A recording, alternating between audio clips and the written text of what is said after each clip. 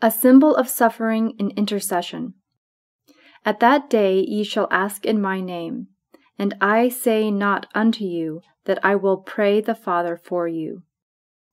John 16:26 To be one with Christ is our desire. His own attributes we acquire. Nothing of self or sin do we render. Only to Christ and the cross we surrender.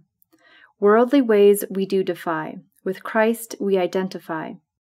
We will ask of the Father in Jesus' name. To live for his glory is why we came. To gain peace in him is not a loss.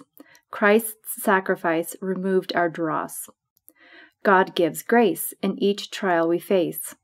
Pray to keep healthy. It will keep us spiritually wealthy. Our prayers, our petitions in Jesus' name. Keep his word alive. It is a living flame. Pray, rejoice, and give thanks. Nothing else outshines or outranks. Our prayers may be answered differently. God's answer is right, and we respect him reverently.